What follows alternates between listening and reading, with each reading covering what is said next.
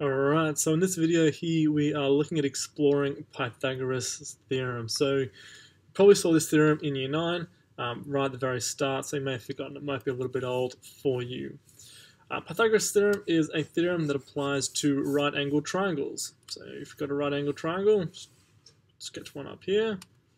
Uh, and the rule says that a squared plus b squared equals c squared. And that is a theorem you'll need to know off by heart. You're going to see it time and time and time again. So if you're taking notes, I would definitely be taking note of that one there. In terms of our triangle, in terms of labeling it, what we're dealing with here, A, B, and C, these three are all sides. Okay, so our rule here Pythagoras' theorem is linking three sides together. And it is important that you get the sides correct. If you get the sides wrong, this whole thing falls apart very quickly.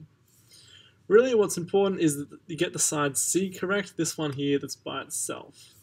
C is this side here opposite the right angle. Okay, and that C has a special name, we call that the hypotenuse. And for right angle triangle, the hypotenuse is always the longest side. It's always opposite the right angle. So if you see the right angle, you should be identify the hypotenuse straight away. Um, that C there, the hypotenuse. From there, the last two sides, A and B, doesn't really matter which one is which. So A and B, as long as they're the shorter sides, whack in an A and B there to get that out. Okay, so there what we're saying is uh, if you have A squared plus B squared, you do get C squared a and B, those two shorter sides there. Make sure you get it correct when you're putting into your theorem. Very common mistake. Okay, so let's take a look at an example quickly.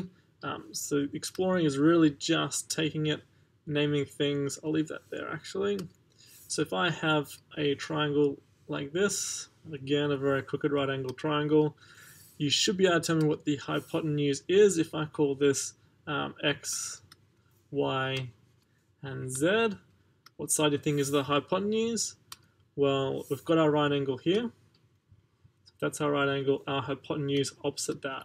Z here is our hypotenuse. In terms of using our theorem then, well, our theorem always says a squared plus b squared equals c squared. So if you want, you could relabel this as being c. Okay, from there, a and B don't matter. Taking another example, so let's go down a little bit. If I've got another right angled triangle, let's say this one in here. Oof, not drawing very straight today. Uh, if we have sides of um, P, Q, and R, working out which one is our hypotenuse, right angles there, this is our hypotenuse here. And again, we can label that as being C. C is always the hypotenuse. That means this can be A and this can be B. So in terms of writing out Pythagoras' theorem, we normally say that A squared plus B squared equals C squared. So in terms of the letters we're using here, um, A will be the same as R, so I'm going to say this is r squared plus b squared. b is q. Q squared there, a and r together, b and q. Lastly, c, c and p are the same here. So this is equal to p squared in there. And we can do that with numbers as well. So if you grab an example, it does use a few numbers. Let's take um, this one here.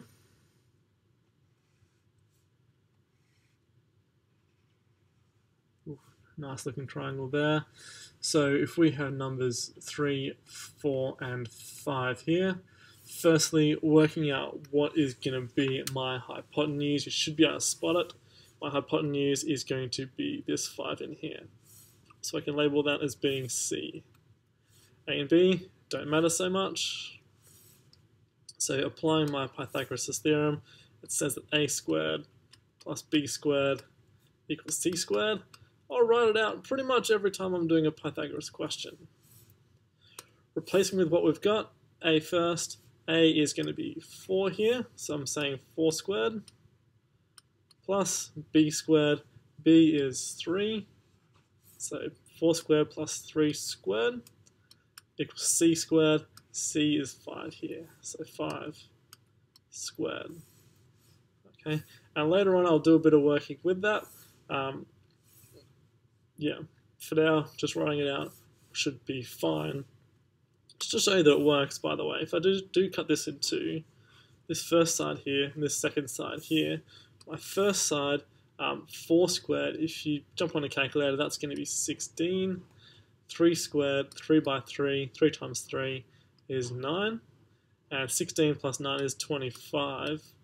On my other side here, 5 squared, calculator, or just 5 times 5.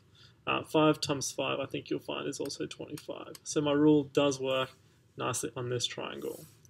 What's important, your main points, uh, just going back over quickly, Pythagoras' theorem will always say a squared plus b squared equals c squared. Okay, And from here, c is the hypotenuse. Once you get your hypotenuse out, a and b are the two remaining sides. Given a triangle, label your hypotenuse first, call it c, a and b, whack those in too. Okay, and then just just a matter of relabeling things as you go. Okay, well, that's it for now. Thanks for watching.